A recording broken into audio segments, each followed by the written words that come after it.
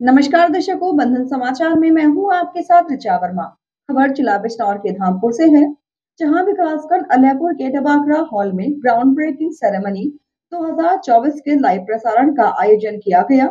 आपको बता दें कार्यक्रम में मुख्य अतिथि के रूप में विधायक अशोक कुमार राणा, ब्लॉक प्रमुख क्षमा अमृता चौहान, पूर्व पालिका अध्यक्ष लीना सिंघल, उत्तर प्रदेश उद्योग व्यापार मंडल के प्रदेश उपाध्यक्ष अरुण कुमार वर्मा पश्चिमी उत्तर प्रदेश उद्योग व्यापार मंडल के प्रदेश उपाध्यक्ष सरदार सतवंत सिंह सलूजा आदि मौजूद रहे, जिनको तुलसी का पौधा भेंट कर सम्मानित किया गया।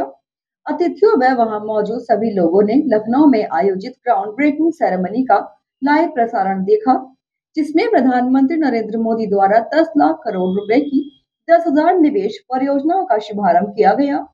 प्रधानमंत्री नरेंद्र मोदी ने कहा कि यूपी में देश का सबसे बड़ा टूरिस्ट हब बनने की संभावना है। लाखों लोग वाराणसी और अयोध्या में आ रहे हैं। मैं देश के सभी पर्यटकों से अपील करता हूँ कि जब कहीं घूमने जाने की प्लानिंग करें तो अपने पूरे बजट का 10 प्रतिशत वहाँ से खरीदारी करने के लिए भी रखें। हमारी सरकार ने देश की एक करोड़ बहनों को लखपति दीदी बनाया है। हमारा संकल्प है कि आने वाले समय में देश की तीन करोड़ बहनों को लखपति दीदी बनाएँगे। एमएसएमई को बढ़ावा देने के लिए लगातार प्रयास किए जा रहे हैं। पीएम मोदी ने इस मौके पर किसान नेता चौधरी चरण सिंह को भी याद किया। उन्होंने कहा कि हमारी सरकार को उन्हें भारत रत्न देने का सौभाग्य प्राप्त हुआ है। उनका सम्मान देश के गरीब, मजदूर और किसान का सम्मान है। पीएम मोदी ने कहा कि यूपी में बीते सात सालों से डबल इंजन की सरकार है। यही कारण है कि आज यूपी में व्यापार, विकास और विश्वास का माहौल बना है।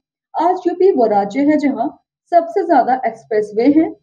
पीएम मोदी ने कहा कि सात आठ साल पहले हम सोच भी नहीं सकते थे कि निवेश को लेकर यूपी में इस तरह का माहौल बनेगा। चारों तरफ़ अपराध और दंगों की खबरें आती थी।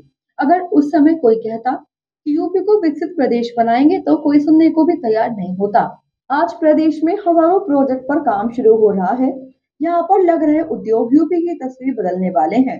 कार्यक्रम का संचालन खंड विकास अधिकारी ऋषिपाल सिंह एवं ग्राम विकास अधिकारी हिमांशु चौहान ने किया। इस दौरान मंडल अध्यक्ष शेरकोट धर्मवीर सिंह, चक्राजमल भूपेंद्र सिंह, धामपुर जितेंद्र गोयल, नीरज प्रताप सिंह, एडीओ पंचायत नसीम अहमद, सचिव नीरज कुमार, सलमान सहदेव, एसपी सलूजा, नागेश्वर दयाल गहलोत आदि सहित ग्रामीण मौजूद रहे।